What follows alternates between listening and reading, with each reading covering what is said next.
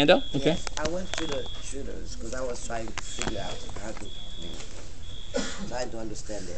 Yes. And that the, the, the bottom part where we had 72.0 to 75.0. Um, Yeah. I went to two different tutors. They told me that I cannot change it. And I told them about it. They told me I can to include that that uh, highest number. But they said no, it cannot. Well, it depends on who they were taught by. It depends Yeah, on your was- teacher and so forth. Yeah. It's common practice to do that, and that's the only time you ever change the width of a class is if the next data point is right next to it. You go ahead and suck it in. Okay. Some students might have been taught by a different teacher that said, no, never do that, Yeah. but they're kind of dwindling But out. I was confusing because I went to, to two different tutors and I had the same problem. Well, that's not. Hopefully, you understand that that by itself is not like a big deal, right? That's not like you should feel I'm going to give all the statistics up because I can't get that last class right. What I more care about is do you understand the process? Do you understand how to put it together? Do you understand how to make a picture based off of your table? Those are the big things, right? Cool. And that's what everybody should agree on.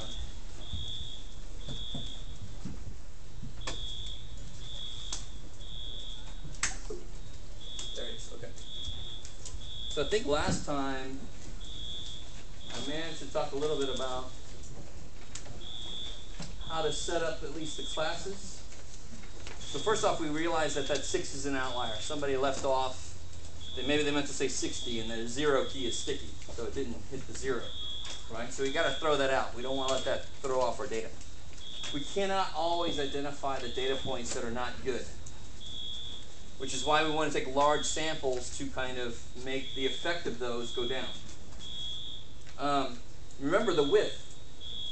Oh, this is going to be great. The, the width is the range divided by how many classes you want to use. And I try to make a physical situation out of that, like trying to put chalkboard plants up here. You just say, how far do I want to go? And that's how far from 75 down to 60. That's how far I want to go divided by how many planks I want to use. I think most of you guys might have used five, I used six. We both came up with three. I rounded up to three for a class width. So here's the weird part. The data itself has decimals in it. So if you want to do it the book method, oh, that's going to be great. If you want to do it the book method, you actually do have to take into account that your data has decimals. You have to have decimal limits. So 60, 63, 66, that's where I can see the 3. But then that makes this number 62.9. It's got to be directly next to the other one. So it just has to be right next to whatever you're. Exactly. So if it's whole numbers, it would be like 60, 63. This would be 62. This will be 3 of 65. If it was single decimal places, here's my 60.0, 63.0. So I can see my width of 3 there, right? But then you got to go down by one according to how many decimal places you have. Here's one whole number. Here's one decimal place down. If it was two decimal places, what would it be? 60.00, 63.00, 62.99. Cool. Right? Now the funny thing is every single one of these situations looks the same if I use the way that I was taught.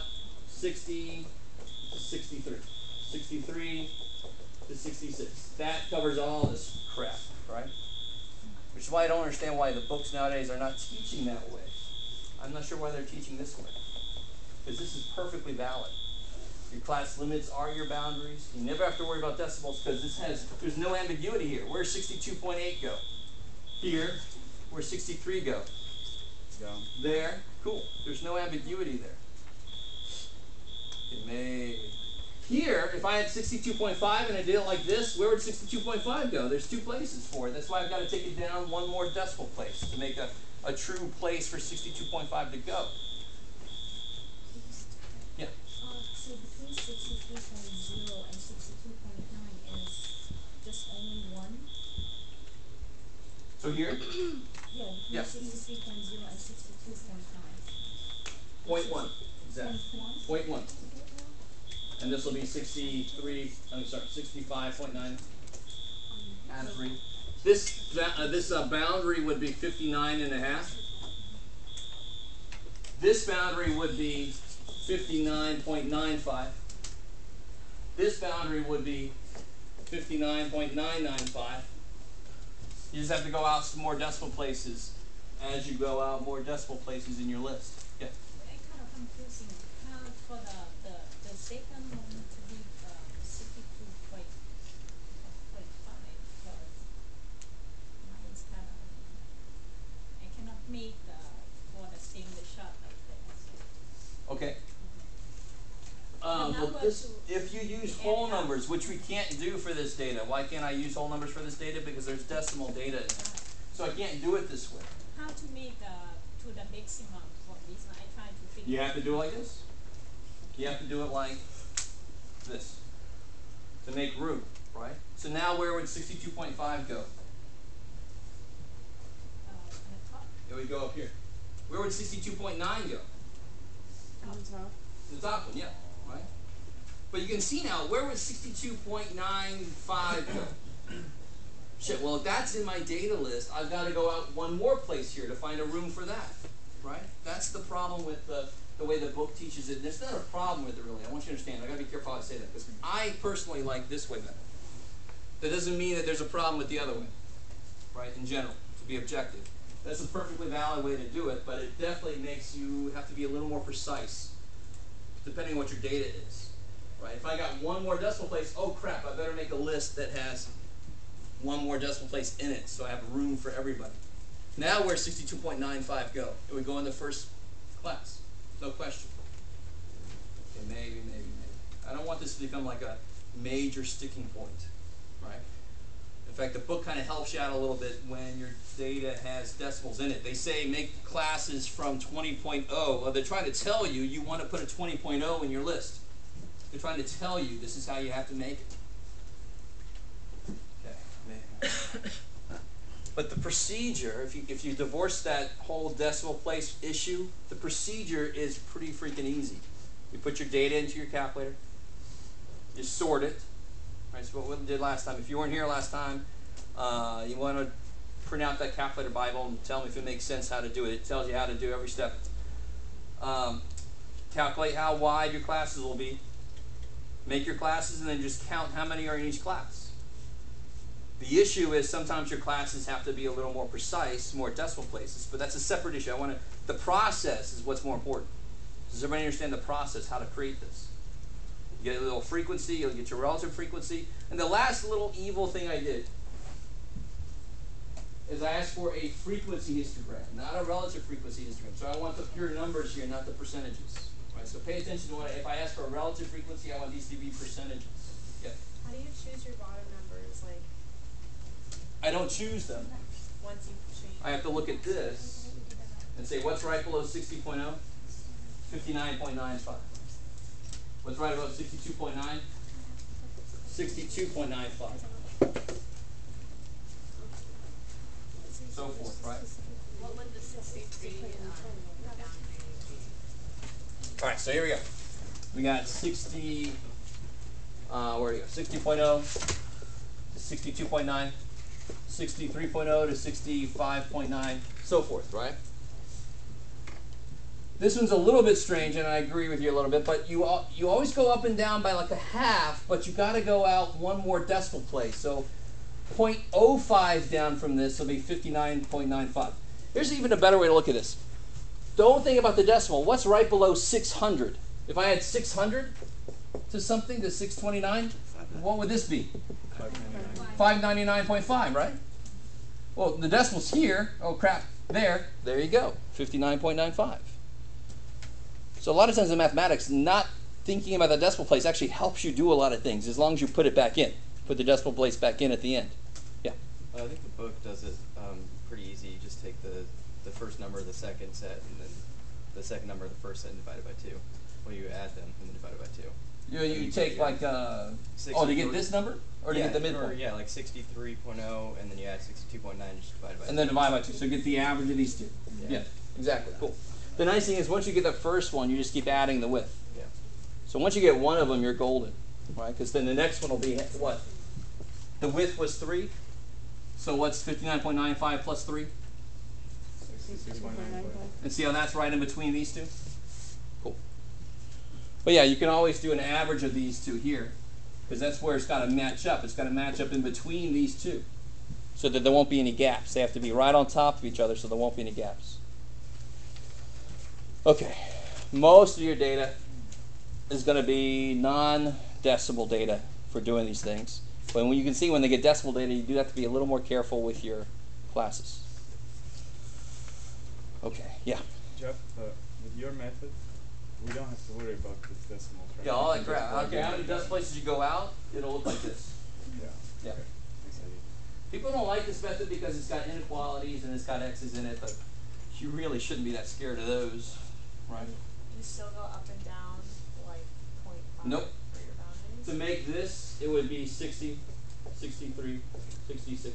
Because for this one, my limits are my boundaries. Yeah. So, so in this case, you would make the the list like this, or would you still make the list like that? Yeah, I would make the list like that if I'm doing the book way. I would make my list like this If you're doing if I'm it doing it the other way, Okay. right? It's not really my way, but it's I just know, the other I way. know. Yeah. We didn't Your add them as preferred method. Oh, I, I, I did both ways actually. I wanted six classes the way I did it, so I was cool with adding one more class, right? So I had six. If you wanted five classes, remember this is the one time you can suck that last data point in. Make one last class 72 to 75. What would you do for the class boundary for that though? Would you go to seventy-five point? 75.5. Or uh, 0.05, yeah. In this case, 0.05. Since you got to go out two places, yeah. Can you raise it up? So now you guys see here's the 59.95 to 62.95 so forth. So there's no gaps. So it doesn't look like you missed anybody. And then you just make the height the same as the frequency. This goes up to 10. This goes up to 14, so forth. Do you guys, um, this is not perfect because it's kind of a small sample and there are fewer men than women in here, just a little bit fewer men than women. What do you think this peak here corresponds to? Possibly. I mean, that's roughly right around That's five foot three, five foot four. average. That's the average height of who? Women. Women. This other kind of peak here, that contains the average height of men, which is five foot nine. Right? Which is kind of nice to see. I didn't I didn't make this happen. This is what actually naturally happened. You see kind of a nice the women go up and down. There's a little bit of overlap with the women and the men. There are some tall women. And then the men go up and down. Right? Anybody know what that shape is called when you have a nice Bell curve. a bell curve. It's also called a normal curve. If I look at everybody at once, is that a nice bell curve? No, it kind of goes like that, right? It's not really normal. It's not a bell curve. If I look at women and men separately, you actually do get a nice bell curve. So, and that's actually the last part of the section. This is a perfect way to get into that we call it a normal curve because it's what occurs naturally. For example, if I took uh, fish and I took them when they're adults and I saw and I measured a bunch of fish, I would see some small fish and some really long fish, but most of them should be the average. Most of them should be right in the middle. So I'd have um, like this. I'd have some small fish, some long ass fish, but most of them should be right in the middle, right? And that's why this extreme is coveted. If you get one of those extremes, you get you pick it up, you put it, you open the paper somewhere. I don't know if there's any fish, anybody fish in here? I don't, because I have extreme seasickness. It's awesome. but um, that's what that is. Or, or heights, the same way. Here's the uh, average height of men. So are there like a lot of people that are a lot of men that are three feet tall? Right, three or four feet tall. There are not many, but there are some. Are there a lot of men that are seven foot? No, there are not many, but there are some. Where are most men? Here. Cool. How we doing with that? So that's why we call it a normal curve because what happens normally is I get that. In fact, if uh, any of your teachers ever curve your grades, so that's where the middle is normally a C, and you expect some kids to get fail and some kids to get A's and stuff. So they say, okay, crap, my middle was actually uh, 31 out of 100. I'm going to make that C. So I'm basically going to pick this whole thing up and put it up at C territory, right? And then these guys are going to fall into A's, and these are going to go fall into D's and F's. So that's one way to kind of curve grades. Just pick up the whole picture and put it up, bam, make the middle C. Don't make everybody fail, right? Okay, if you haven't had that happen yet, it happens a lot in higher level classes. In grad school, if you go to grad school, good God, you never get out if they didn't curve grades. Mm-hmm. Yeah. When you're doing the decimals for making class boundaries, the the start of the the next um, class boundary will be the same number as the ending of the last. Exactly. Okay. Good. Because what do we not want to have happen when we actually make the picture? I don't want to have a gap. So I do want the one to lie right on top of the other one. And that's why, if I did have a data point that was 62.95, I couldn't do this, because then where would it go? So I'd have to pull out one more decimal place to make sure where that goes, right? And that's this whole thing about how many decimals do I actually have to have in my classes so I can fit all my data in. Depends on how many decimal places my data go out to. Thankfully, nobody told me they were 62.95 inches tall, which is good, right? But you could have if you really wanted to. Hmm. If you do it that way, how could you graph it on the? It would be just like this. It would be, if I did it the inequality way, it would be 60, 63, 66, 69. Ba, ba, ba. So where um 63 Second? So where 63 would be like on the left or on the, on No, you, you tell me where would 63 fall? Which class? The second one. See? There's no ambiguity because you're saying that's strictly less than. But what's less than 63? 62.999999999. Whereas if I do it this way, oh shit, oh shit, maybe I don't have enough place for it. I better add some more decimal places. Do you guys kind of see the point here? All right. What I really want you to do is to do two two two three homework as soon as you can. They kind of guide you a little bit in the setup. you need to do some of these histograms to make sure you know. Remember what I said about 2223? You want to do them at once, right? Don't hand in 22 because it refers to your work in 22 in section 23. That would suck. Okay. But Yep. but do you go do you go for each in, individual one or do you just okay since we got the first one, sixty is less or equal to um X. x Which is less than 63. sixty-three. So do you just keep adding them like that? Oh yeah. Same way I do when Okay. I make these. What do Yeah, we do keep going? Keep adding three, adding three until we get to the end. Okay. Yeah. You do exactly the same way there. Okay. Yeah. Okay, cool. Maybe. Alright. So you just got to get into that section 2 2 and 2 3 and try it out to make sure you can do it. Hopefully, that handout I gave you gives you a nice template to follow, right? You have to know the formula for class width. It's a little tiny formula. You got to be able to calculate class width yourself. Don't just tell me 10. Why? Because I like it. No, you got to back it up. You got to show me the work, the math. Okay. So, real quick question. Um, which one of these would you say then is a normal curve? Uh, if I had something like this here, or this here.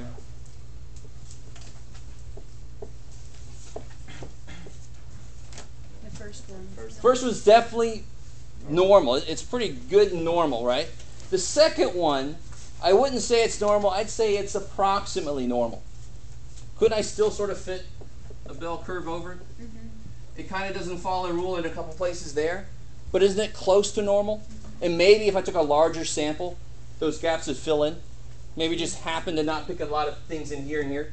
If I'm picking fish, maybe they were the ones that slipped through my fingers. Screw you, screw you. Okay, this one, right? You guys, you guys with me? Mm-hmm. So this is definitely, you know, approximately normal. And this one is loosely normal. Think they make a distinction in the book. So once you uh, draw your histogram, they're going to ask you, does it look normal or not? And then you just say, well, it, looks, it goes has a small piece, goes up to a peak, and then it comes back down. That's normal. You could even see it from uh, from just a table. Would you say that this is normal here? Uh,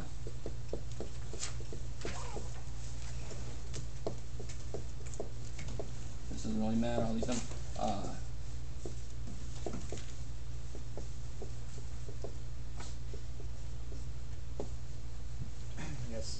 why? Because it starts Low. low, goes high, comes back low. Is it perfect? No, but it's close. And for such a small sample, I'm like, well, that's decent evidence that it might be normal. This, especially if I picked it really nice and randomly. If I did a really good job of randomly picking, they should all grow proportional to this. I should get more in here, and these should kind of grow less. Right? If I did a really good job of picking randomly, so it should kind of keep that same shape. Yeah. Um, I think there's one in the book where it like cuts right in half in the middle of the data. Like it starts going up like two, three, seven, and then cuts in half and asks you if you can figure out if it's a normal curve or not. Like, so could you? Since it goes up. so Oh, and like they're down. missing this. Yeah, You can't tell. you can't tell. No, because it might be two, three, seven, zero, nine. Okay. which is like, yeah, well, crap, and that's not normal, right? It, it like had to do with um, with ages or something. So I mean, you could kind of conclude that it would start to go back down. Well, it all depends. Yeah. I mean, right now, what's really funny is, I mean, what's the population?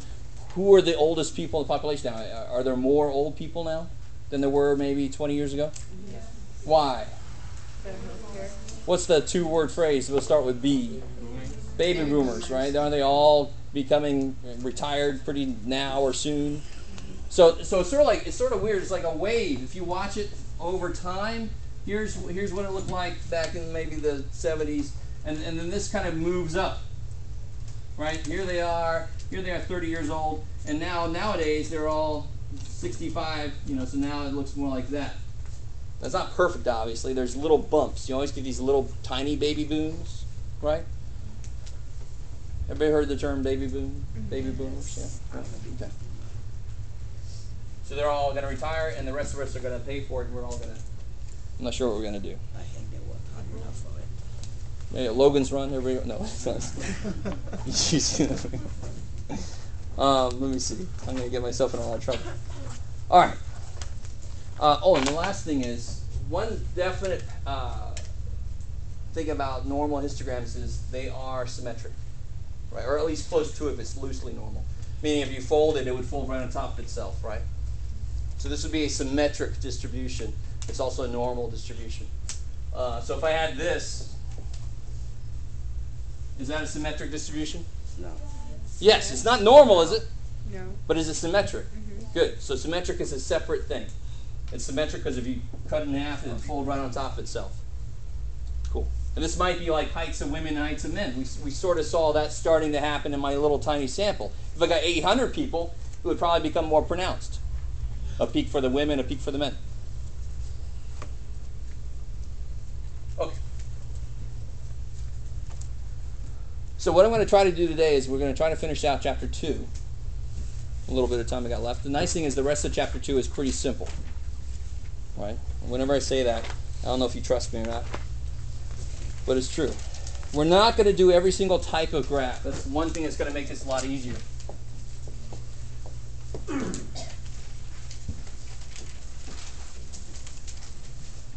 I will tell you specifically what we will be doing. We'll be doing dot plots,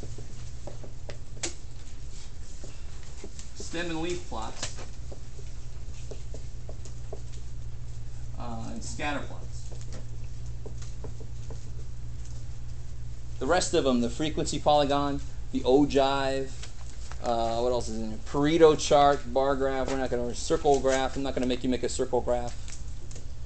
Um, we're going to focus on these three because these are the three that are used most often. And this is the one that is used the most often. And they're all, each of these is kind of like either a quick way to, to sort data or a quick visual on the data itself.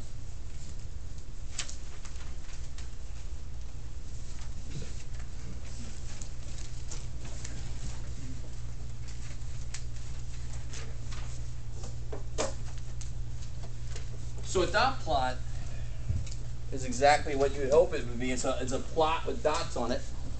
That's exciting. So a dot plot. If I had data like this, if I had ages of people, let's say,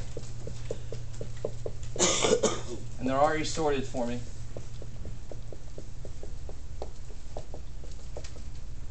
Okay. It's a very small sample, obviously. I want to give quick examples. So in the book, they're going to give you a list of data. If it's not sorted, I would first sort it.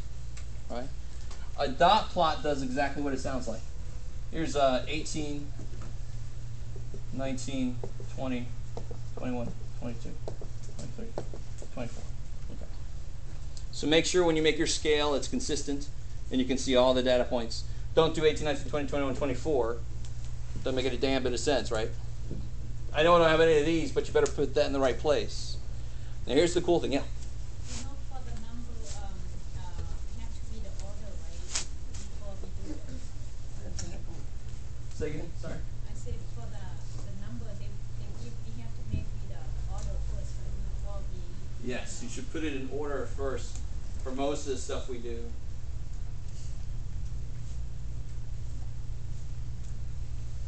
All right, stay on this one. We'll work it out later.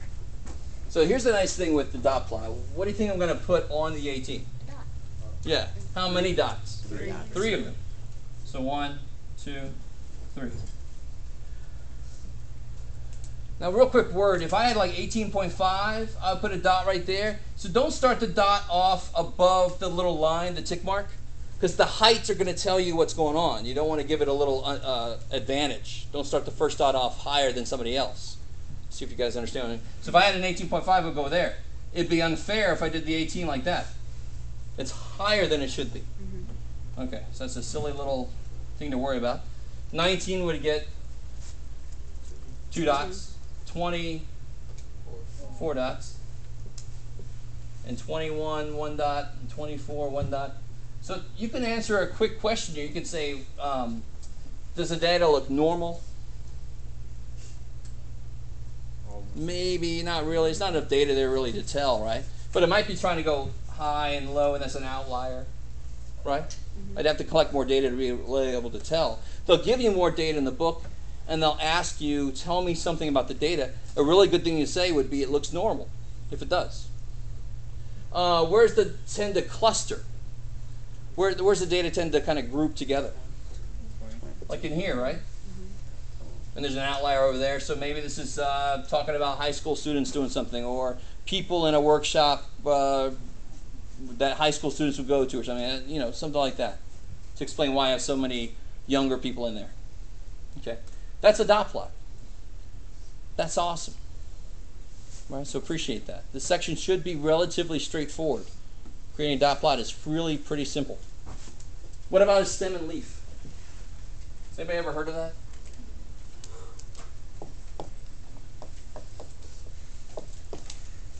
We'll use the same data here. Well, maybe not. Let me make some more data. I don't want to get too freaky yet. Let's see.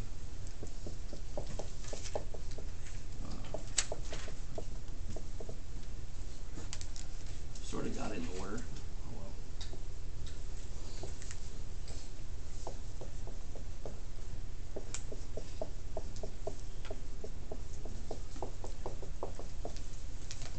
Okay, here's a stem and leaf. Let you guys copy that down if you want to.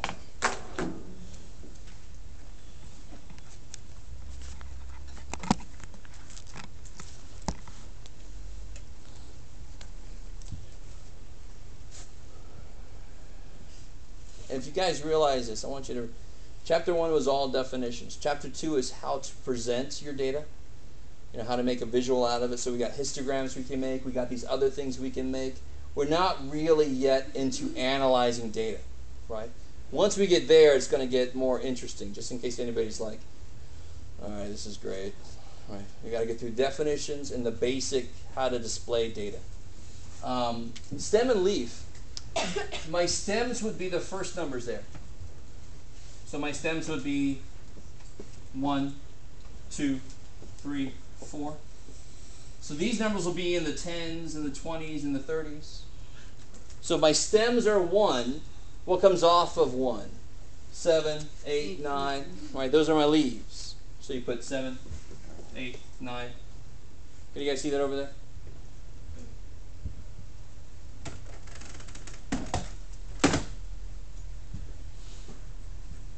What will come off with two, So it's four, four, seven, seven, nine. nine, nine, nine.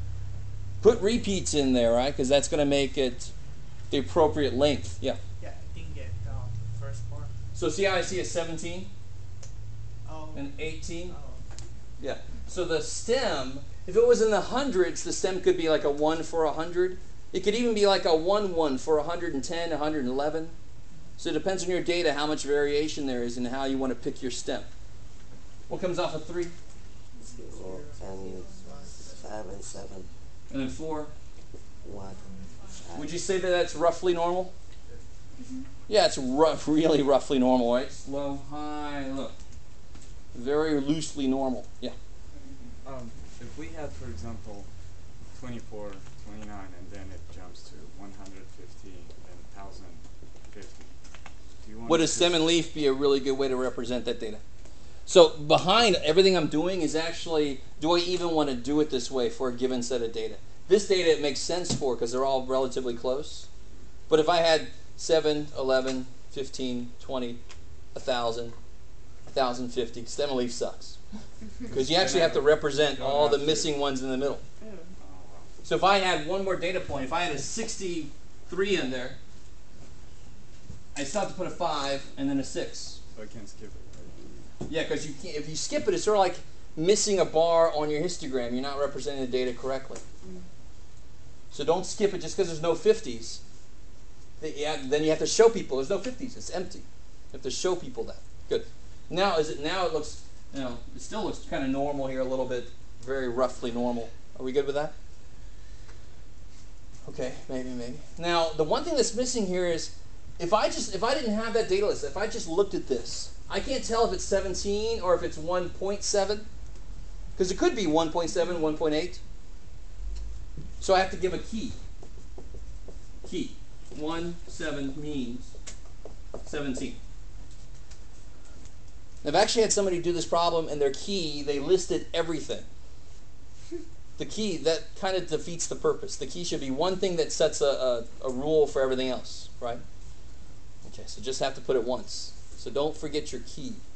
What if we have mix of decimals and whole numbers? That's cool. The whole numbers just be like 2.0, 3.0. Right? So if I had a list like this, let's say uh, 1, 1.07, 1.09, 1.14, 7, 1.20, uh, 1.34, uh, 1.6. Ah. Here's where it gets interesting. What do you think my stem might be? My stems. If, if I just said one, there'd be one stem. What's the point then? So actually, my stem should be One point one. 1.0, 1.1, 1.2, 1.3, 1.4, 1.5, 1.6. Do you see that? Oh, that's great. I'm gonna break that one day. And then you come off of there with your leaves. So what what's the leaf for this going to be? Zero. 11. 1.00. And then what would be next? Seven. Nine. Now where's 1.14 go? 1.14. 1.17. Cool, I like it. You guys see how to put that together? Relatively simple. Even if the numbers get a little freaky, they're not going to give you any like the 5, 12, a billion. That's, that would be evil. Because you shouldn't do it steadily for that. They're going to make it relatively simple. Okay. Cool, cool, cool. Now, on this one, you actually could do this. As long as in your key, the key for this one would be 1.00 means 1.00. If I did it like this, which is fine, I'd have to say the key 100 means 1.00. Because the important thing for a stem and leaf is number one, it's a really nice quick way to put your data in order. If this wasn't in order, then I just have to put these in order. It's quicker to put it in order then. Number two, at the end, I can get a visual, a really quick visual. I didn't have to make a histogram. That takes a little while to do that, right? I just have to put the data down. I can kind of turn my head and look at it, and I can see, oh, that would be about normal, right? Very quick visual on my data. So if I do it like this or like that, is it going to change the visual? Hell no. It's going to be the same length out there, right, at the end. It's going to be the same visual. Okay. And then the last little thing here is something you've been doing for a long time.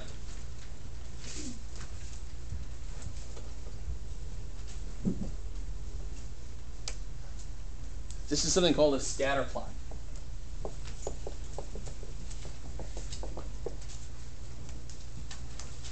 So say I take uh, temperatures throughout the day, right? And I take it like at, at 8 a.m. it was uh, 68. 9 a.m. it was 72. 10 a.m.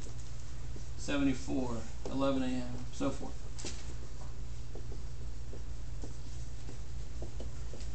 That's enough there.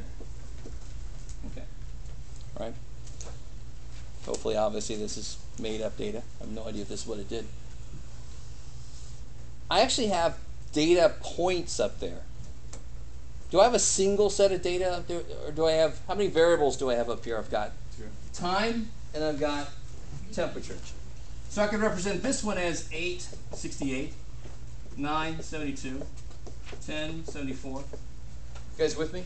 If I go further, I really, actually here, I really should use um, military time, just to make the scale better. You guys with me? You'll see this a lot if you look at tides, I think, at Scripps. If you look at the tides, like I, I like to stick my kayak out. I like to know ahead of time what the tides look like. So they're going to use uh, military time to make the scale a little better, possibly. I can't remember now if they do or not. 11, 74. So to make a scatter plot, that's why I say you've been doing this forever, you just graph those, x, y points. Right? So that's a scatter plot. You just graph those. So if I graph those,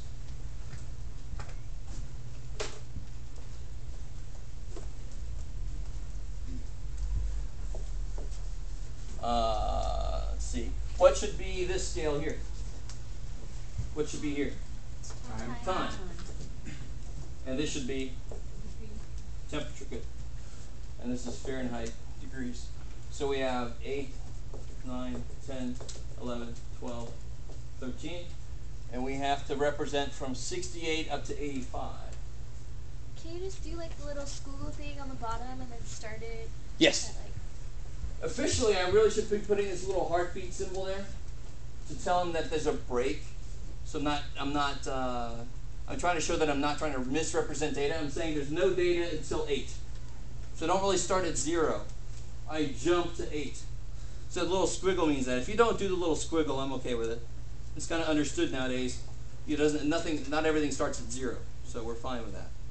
Okay. Um, here it's going to be I want to get from 68 to 85. I think by 5 this kind of naturally happens here, right?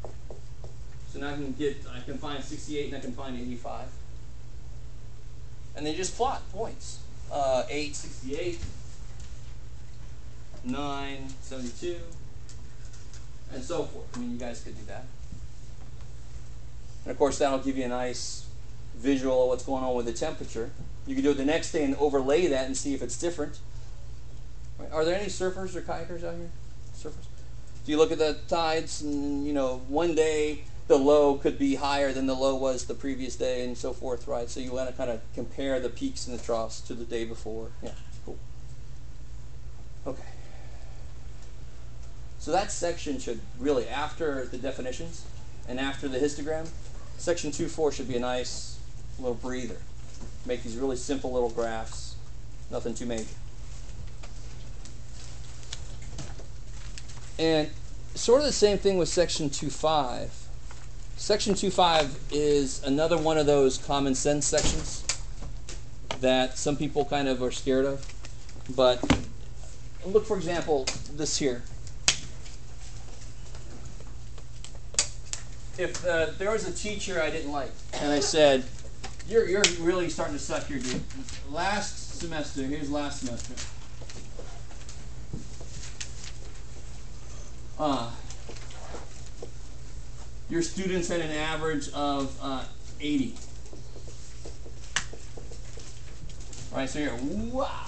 This semester, your students had an average of 77. Look at that. Look at your performance. You suck. What's the most obvious thing that I've done to skew the data? The scale I picked is stupid.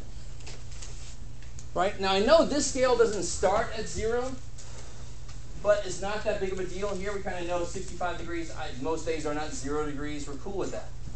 But this scale, really, to be fair, should start at zero to show true differences then.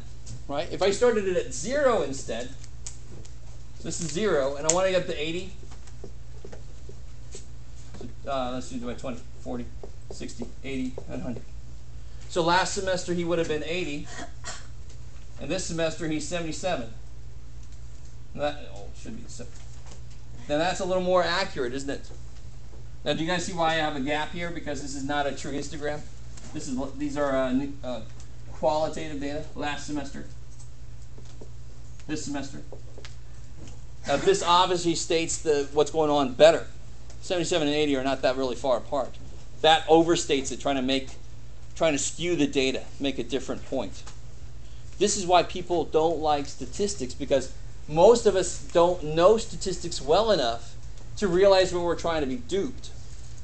Or when you create a graph, you could accidentally create it so that you're duping people or you're duping yourself. You're like, oh crap, look at that. When you don't really know how to make a good graph. So that's why statistics kind of throws people off because they don't know how to interpret it or how to use it correctly, right? So this section is all about um, what did they do wrong? What were they? How are they trying to mislead us? This is a common sense section. You know, what, what's a better way to do this? What's a better way to make this graph? Right. One last little thing: you never want to make a graph out of. Um, let me see if you guys can get this. If I have a box at one by one by one. What's the volume of the box? One. One. Good. Right. Length times width times height. If the next, if this is like taxes, the year before I was voted into office, and then the next year they say, "Oh, you doubled taxes," so now it's uh, two by two by two. but what's the volume of that box? Eight. Two times two times two is eight. You're saying that taxes went up eight times as much. You're misleading people. When they see the little box and the giant ass box, they're going, Whoa, get him out of office, oh my God. When that's overstating the case, you can't use a three dimensional object for a one dimensional thing, taxes. You should use a one dimensional object, or a bar graph is better, right? To make the scale correctly. So those kind of things are going to show up in section 2.5. So just to warn you, chapter 3 is coming up. That's where we're going to start doing real analysis of data. We're going to use our calculators a lot. So if you got one coming or you don't have one yet, you want to try to get one. I will bring a few with me. So next time, chapter 3, means and standard deviations and such.